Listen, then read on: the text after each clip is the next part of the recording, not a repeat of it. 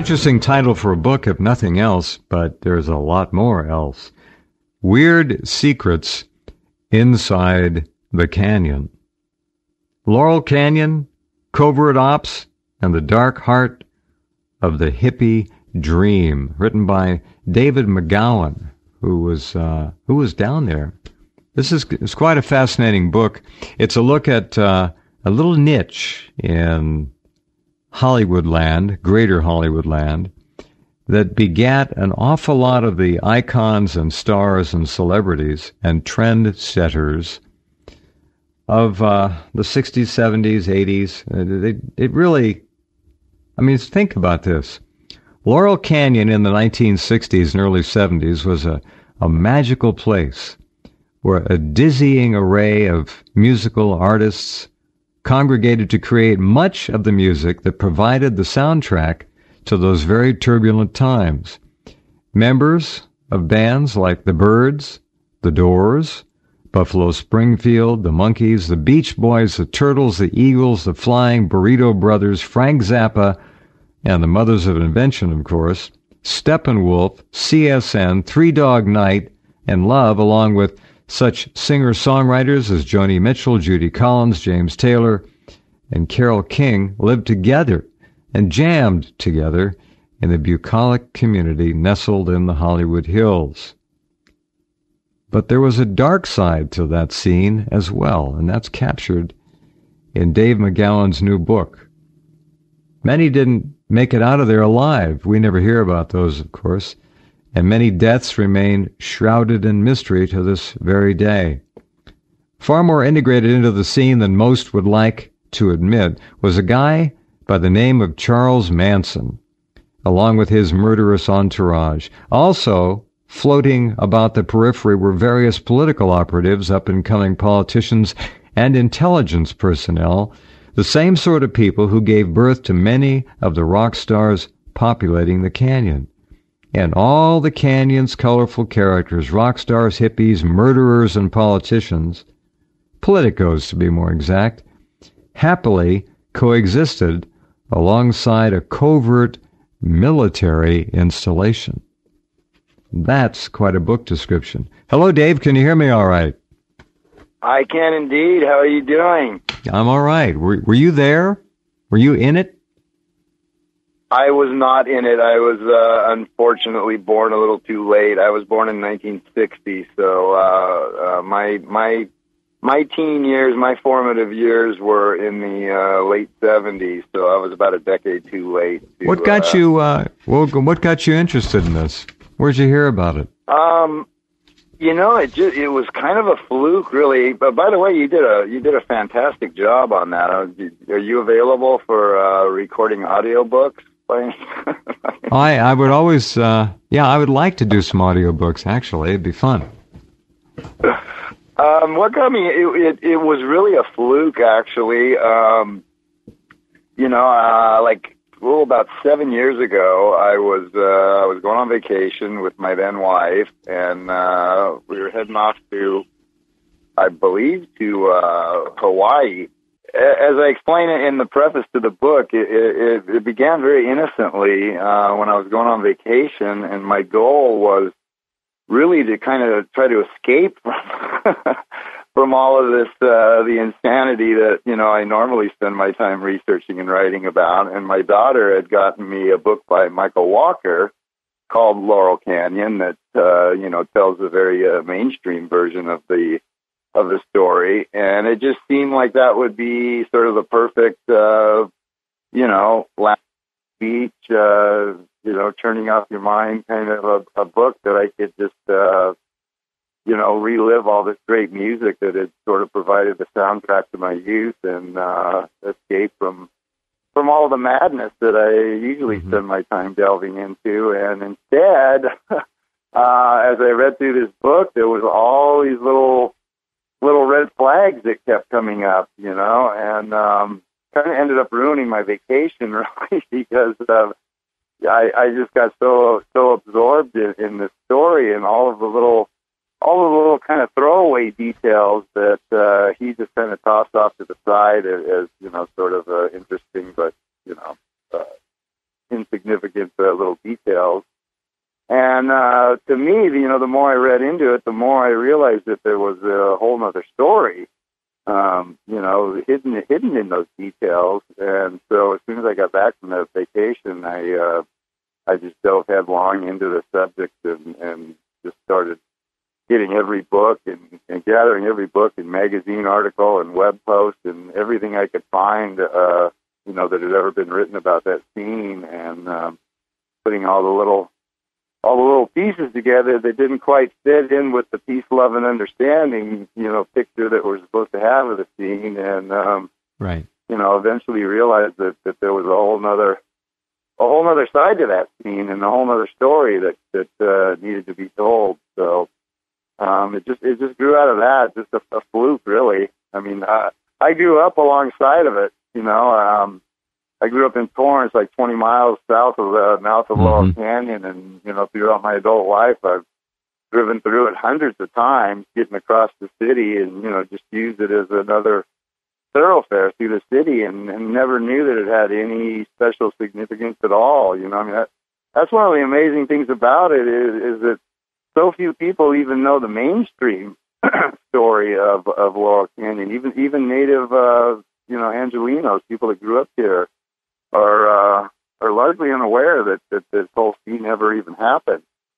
So um, yeah, even even though I grew up alongside of it, uh, you know, I, I knew I really knew nothing about it until mm-hmm. like seven eight years ago. Mm-hmm and uh, everything that I know, everything that went into the book is, is all stuff that I've learned since then. So. Can you tell me which came first, the music and the hippies, and then the government, or the government and then the music and the hippies? I believe it's the latter. I, you know, I mean, I. uh you know, there's long been debate about the '60s counterculture and and you know whether it was at some point uh, you know co-opted, so to speak, and misdirected by the government. But uh, you know, based on every all the research that I've done, it, I would conclude that it was that it was never legitimate. You know, from the start, that it was that it was uh, created. You know, as a uh, as a you know uh, psyop, so to speak, from the beginning, and that everything that grew out of it was, you know, uh, the, the I, I don't I don't think it was ever the organic, you know, grassroots uh, sort of thing that, that we're supposed to well, believe it is. This, of course, dovetails into uh, Tavistock, and the concept of Tavistock had a lot to do with pop culture, pop music. Uh, created it, manufactured it, disseminated it, and it took off uh, from there. Now, in the canyon, in Laurel Canyon, where was this military? I guess it was an obvious military facility of some kind. Was it in the canyon or just nearby? No, it was actually right in the canyon. It was on um, uh, Wonderland Park Avenue, I think it was what oh, it was. A, uh, you're pretty much right in the heart of the canyon. There's and, a psychedelic uh, name actually, for you. What's that? There's a psychedelic name for you. Wonderland Park. Yeah, yeah. Well, Wonderland Avenue is one of the uh, one of the main main uh, routes through there, and of course, where the infamous Wonderland murders uh, occurred. And um, but uh, yeah, look at Lookout Mountain Laboratory was uh, right smack dab in the center of the canyon, actually, and it was I think it was initially built. According to most reports, it was initially built as, as a covert uh, air defense facility like during well, like World a, War II. An, an old Ajax missile site or something? Something along those lines, mm-hmm. yeah, like what they like the fortifications they have up in San Francisco mm-hmm. that were uh, mm-hmm. built in that same era, and uh, and then it morphed into a a uh, covert film studio where they processed uh, all the film stock from the atomic weapons test and uh, right there in Coldwater Canyon, Laurel Canyon. I What's that? No, they processed the film right there in Laurel Canyon. Yeah. Oh, they had a lot of other facilities. I wonder why they. That's interesting.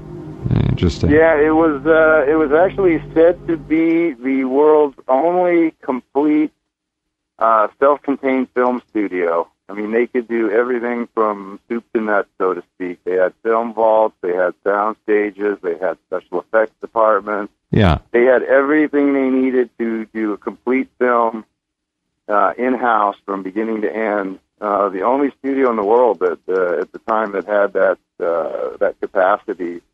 And according to various reports, a lot of the technology um, you know, that we see today uh, was first developed there. They had it before anyone else. Like, you know, 3D technology and, and uh, Hmm. I don't know, various other things. So you're talking about uh, early Black Ops stuff.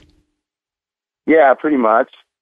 Yeah, I mean, technically, it was uh, it was primarily used for, um, you know, like I say, pro- they processed all of the atomic weapons uh, test footage there.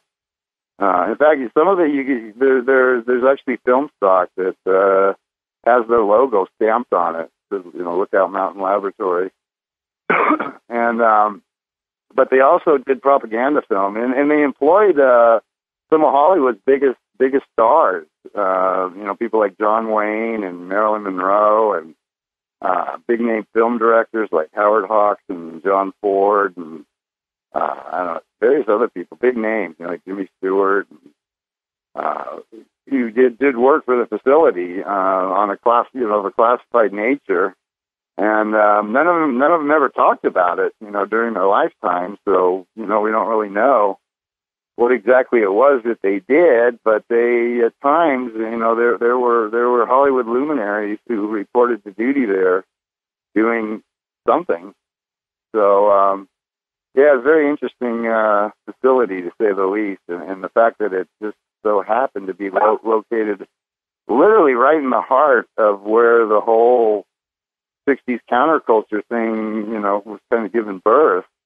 Um, you know, right right around, literally right around, right around this uh, this facility. So, uh, yeah, very odd to say the least. Question: Some of the people I named in the introduction, do you think they may have been trained Intel assets with musical talent, or were there? There had to be a genesis for all of this talent, and I'm wondering if it if it was grassroots, or if it was somehow computer projected to be cool. Uh, they knew where the masses could be taken, and they turned these people loose in this group and, and encouraged others to move there. Whatever they they tend to mag, magnetize each other and move in together. But where did the talent come from? Was it contrived or was it real?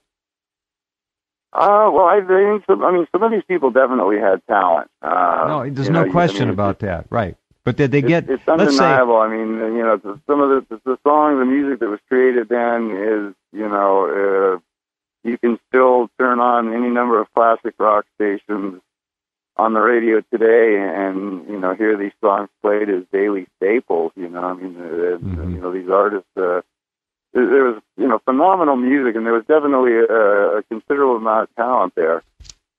but the question is, why were so many of them was such a huge preponderance of them uh, you know from direct comes directly from military and military intelligence families you know? It's just uh it's far more so than could be accounted for by you know just coincidence or by uh, the fact that a lot of people have suggested that uh that these people were were rebelling against you know the the values of, of their of their parents and whatnot, and uh, and that may be true in some cases, but just the sheer number of them who can be traced directly to the military intelligence establishment would seem to suggest that there was something more at play here than just talent. well, would they you know, would they necessarily know that they were being messed with, seeded, so to speak, to go in amongst this group?